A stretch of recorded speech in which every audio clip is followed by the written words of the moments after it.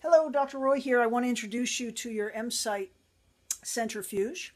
I absolutely love my system.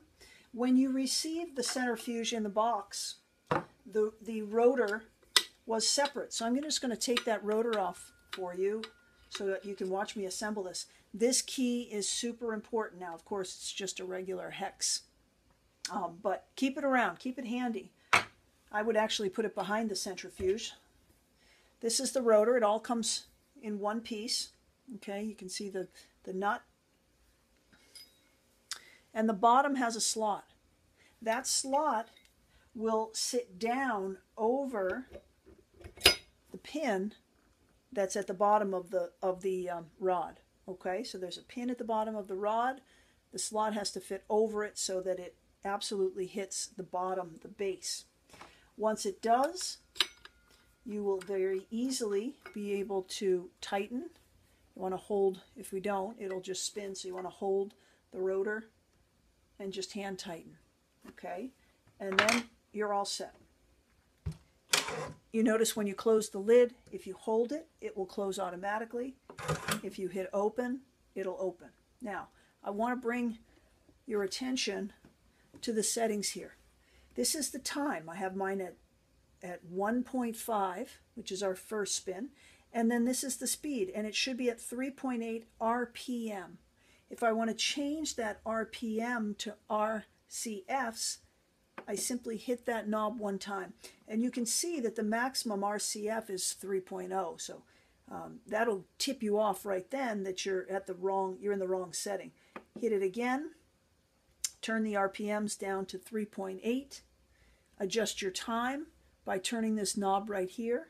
So first spin is 1.5 minutes at 3.8 RPMs. Second spin is 5 minutes at 3.8 RPMs. You're going to put your buckets in the centrifuge and of course you're going to put one opposite the other. There's four opportunities for buckets here. You're then going to put your plasma on one side or your, your whole blood on the first spin and your counterbalance on the other side.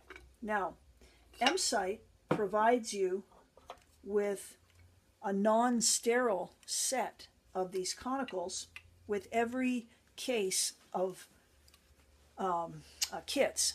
And you can see that they mimic exactly what's in the PRP kit kit. So the first spin is done with the conical that has the disc, and the second spin is done, this is the, the uh, concentrator, with the conical that has no disc. It's, it's just a, a clear tube running to the bottom. These are uh, uh, easy. These are actually Luer lock tops, and you just attach your syringe. In this particular case, I can add water if I need to, I can subtract water if I need to. So my counterbalance always wants to be even with whatever product it is that I'm spinning, okay? When I'm finished with that, I turn my syringe and I'm all set. It's a self-sealing top. In your kit, these will be sterile self-sealing tops, and you always want to wipe the top, obviously, with alcohol, and I'll, I'll show you how to spin.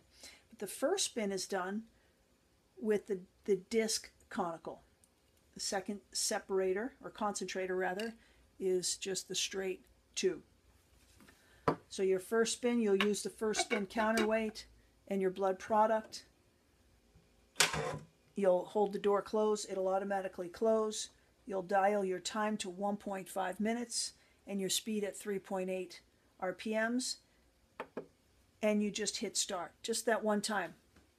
And the first time I did it, I wasn't sure if it was starting. It didn't sound like it was making any noise, and that's because it's a very slow, soft start and a very slow, soft finish so that we have um, uh, no activation of our platelets until we're injecting it into the desired tissue. So please note that the time does not actually start. Oh, I don't have my balance in there, so it's going to wobble. You're not even going to hear the centrifuge. It's fabulous. The time doesn't actually start until the centrifuge spin equals um, um, you know your desired setting okay once once we start spinning at 3.8 this time starts ticking time stops centrifuge slows, and you saw that when it comes to a stop, the top actually opens. Okay, I'm going to make another video and show you the actual spin. All right, thank you.